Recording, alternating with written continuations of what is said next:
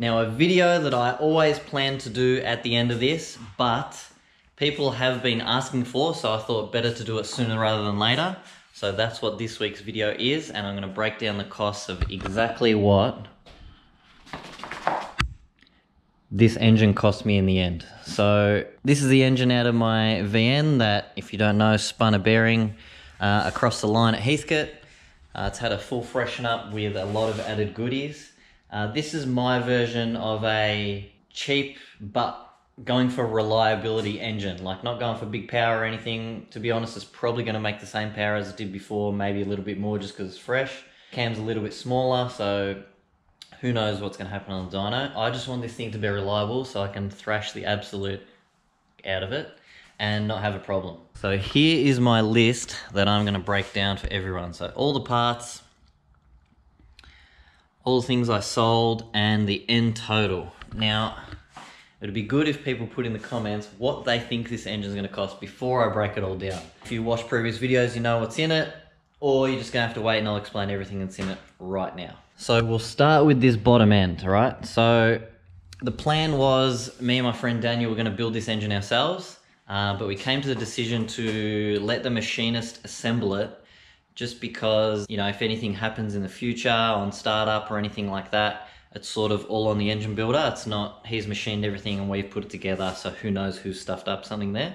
So just insurance wise, and as I said previously, for a couple of hundred dollars they charge just to assemble it and do all the clearances you'd be silly not to. So for this bottom end, I'll explain what it is. So this is my original block out of the VN. So LS1, 346 cubes, whatever they are. I had to get another crank as my crank was too far gone. We did ARP rod bolts in the bottom. We went a 10th thou over piston because my block had pitting in the bore and when he honed it, it was just too far gone. Had to um, machine it out a bit bigger, so I had to go an oversized piston. Uh, standard rods, you know, new cam bearings, bottom end bearings, main bearings, all that stuff. So I got back a full assembled bottom end. Plus he checked and decked my heads. So the heads are all good. They didn't get rebuilt or anything. There was nothing wrong with them. You know, just pressure tested them all like crap. Everything all good there. So that bottom end assembled everything back to me ready to go was three, four, six, five, and 22 cents.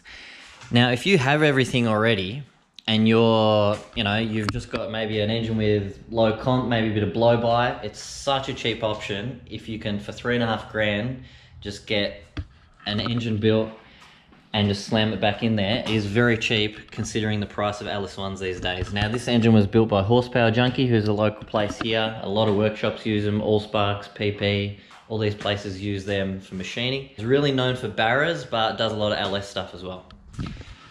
So now on to all these little bits and pieces. Ah, actually, before I forget, now as I said, because this crank was too far gone, I needed to find either another engine or another crank or something like that. So I ended up finding, thanks Troy, my friend Troy, uh, offered up to me. He had a complete bottom end, uh, LS1, apparently good condition, you know, when pulled from the car, 500 bucks.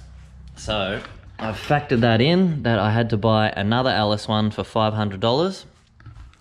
Now, it actually didn't owe me $500 at the end, but we will get to that with the things that I sold because we ended up just using a couple of the rods and the crank out of that engine.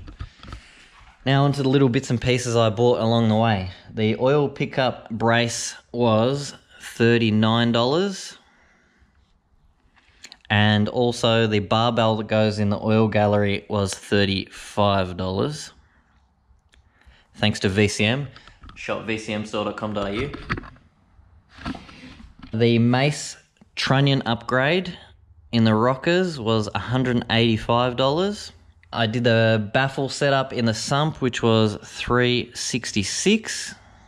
I did as many ARP bolts as I could. So did the balancer bolt, which was 74.90. Bloody expensive for one bolt. This big mother effer here Obviously, we did head studs. I'm not sure if I mentioned that previously, but yeah, this has ARP head studs in it. So they were $590. Did ARP bolts on the cam gear and the cam retainer plate, which were 22.90. and 2670. Did an upgraded Mellings oil pump, which was two two four and 90 cents. Uh, with rear mains on these, obviously, if you have an LS, you know they're very, very prone to leaking. So what is advised to do is just buy the whole plate with the rear main in it. Genuine from Holden. Just trust me, just buy genuine and you shouldn't ever have a problem. So that genuine from Holden was 129.50. Did the 25% underdrive uh, pulley setup, so which came with, you know, these. Uh, if you're running aircon, it comes with the two idlers there, this one, and the pulley itself, which is a very nice unit, I must say. So that setup was 429.95. I ended up buying a kit. I wanted genuine head gaskets. I was told to get genuine GM head gaskets, so I actually bought a kit online that was head gaskets, genuine LS7 lifters, and it came with some aftermarket head bolts which I didn't use, which will get added at the end because I sold those. Oh, and it came with genuine uh, lifter trays as well as I needed those. So it was good to buy all that kit together, which was $430. Did an Aeroflow bottom end gasket kit, so pretty much everything from heads down gasket wise, which was $90.40. I ended up replacing the cam retainer plate as that has a little seal inside it, which, you know, it never goes, but for what this thing costs, you'd be silly, very, very silly not to replace it when you have an engine apart. So that cam retainer plate was 3780. One of my lifter tray bolts was a bit hairy when we were pulling it out, so I decided to do all new lifter tray bolts with just the four small ones that hold the lifter trays uh, in the block, which were 3145. Now, if you've watched previous videos, this engine did have a GM Motorsports turbo killer in it, which is a very, very large camshaft. But upon inspection, it had a little nick in one of the lobes, so I uh, decided not to use it, which uh, Sam from VCM came to the rescue. Shopvcmstore.com.au. Um, and he supplied me a VCM 710 for $250, which was a very, very good hookup with price. Hope he doesn't mind me mentioning what he gave it to me for. The Valley gasket for obviously the Valley down the center under the intake manifold, which I bought genuine Holden, was 44.61, and rock cover gasket kit was 25.99. So this is all the little bits and pieces that I put together to make it reliable.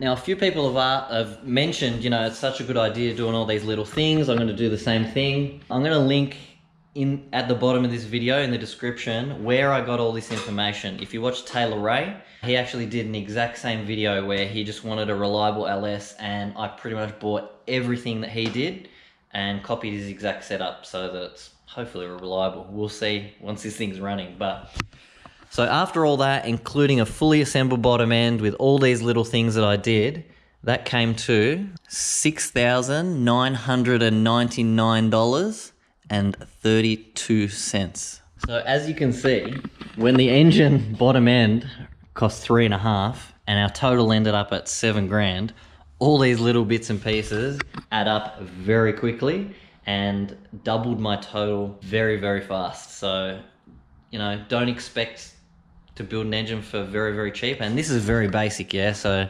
think if you added, you know, rods and pistons, or you added a stroker crank, or you added heads, that's just thousands and thousands of dollars on top. So these engines can blow out very, very quickly. I didn't think I was going to spend this much, but you know, that's what happens. Now, on to things I sold. Now, that other LS1 that I got, I ended up selling uh, all the leftover pistons, uh, even the ones out of this engine, as as I said, we replaced them all with 10 thou over pistons. So I had 16 pistons.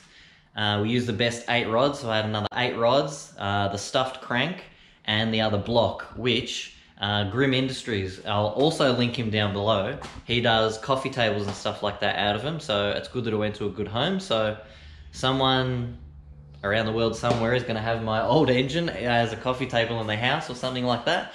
So I sold all that for $200 to him. I sold the head bolts. Now, if you remember, this kit I bought came with uh, standard style head bolts. Now, this we already did ARP bolts, so I sold those out of the kit for 50 bucks to someone. And I also sold the old camshaft and lifters. I'm hoping it does well. I explained what was wrong with it. Someone is still game to use it. It'll probably be fine, but you know, I sold it super cheap, just you know, just to get it out of my life, recoup some money. So that's gone to someone else as well, which I sold for a hundred dollars. So we got back a total of 350, which if you take it off the 7,000, came it down to total with all of this stuff, bottom end assembled, fully done, ready to drop back in the car, ended up coming to 6649 and 32 cents.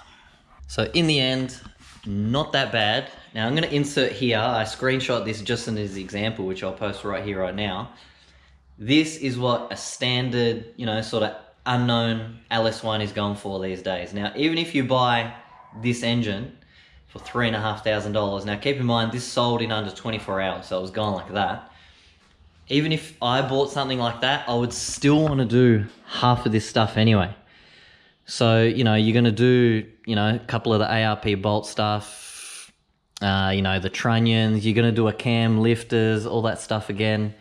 So add, you know, if you pay three and a half for a unknown stock LS1 these days, add 1500, two grand in bolt-ons you're going to do anyway. No one's going to throw just a standard engine in. So, you know, I got out of this pretty good for this amount. Now I have done very similar videos to this where I broke down the cost of the VN when I first got it and uh, what I'd spent on it so far and I did the same thing on my Evo as well.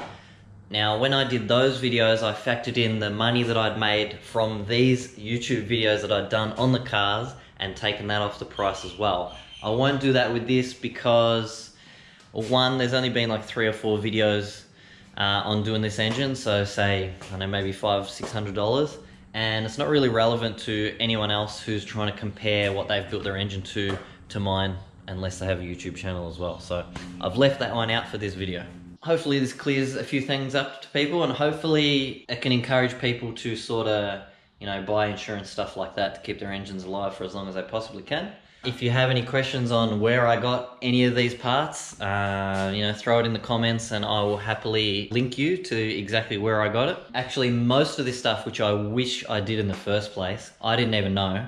I'm gonna say 99% of this stuff is available from VCM vcmstore.com.au. So I'm sure if you call VCM and do a massive order like that, they'll probably help you out. Who knows? So you might even get out of it cheaper than I did because I ended up buying stuff from here, there, and everywhere, and when I should have just gone to VCM from the start. But anyway, I didn't know Sam then, so that's all right. As I said previously, the engine probably won't go back in for a while. I still need to build the box, and I want to put it all in together from underneath with the K-frame. So next week's video, if you know what this is, you know shit's about to get serious cleaning wise. So I think I'm going to try and drop the roof lining out of this as it is filthy when I went over it with a rag. Maybe leave it in and do it with the wet vac. I don't know. I'm going to get water everywhere. I'd rather pull it out, but who knows. It's going to be raining here in Melbourne, so I don't know if it's the right weather for it, but we'll see how we go. Now, just to finish this one off, would people be interested in channel merch. I'm talking jump, uh, probably not jumpers because winter's almost over. Probably t-shirts. Now, if you're watching this to the end, you're probably one of the people that might buy merch because you're that interested in the videos. But it probably wouldn't be car related. It would just be the channel as a brand on its own. And I can probably say now they won't be cheap because I would probably rather quality over quantity. So it's just an idea, a little side project as well as this channel. Let me know in the comments if you're the sort of person that would buy merch from this channel. And maybe I can get the ball rolling on something like that. Anyway, see what happens. That was a lot of talking. See you guys next week.